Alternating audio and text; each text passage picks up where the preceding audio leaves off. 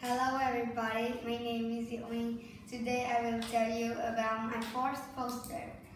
The first thing that is easy to push a pull is a stapler. It is easy to push a pull because it is small and light. We use a small force to push a pull it. The second thing that is easy to push a pull is a drawer. It is easy to push a pull because it is small and light.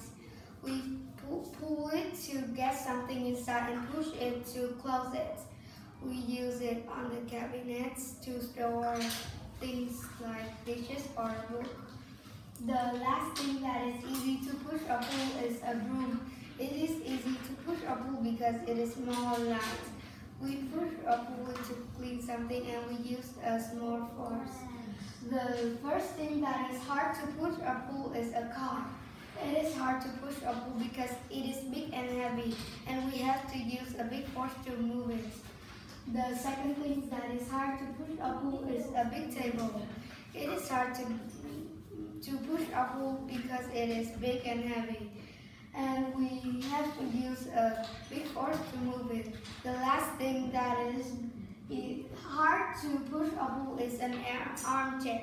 It is hard to push a pull because it is big and heavy we we use a uh, big force to move it. That is the end of my presentation. Goodbye.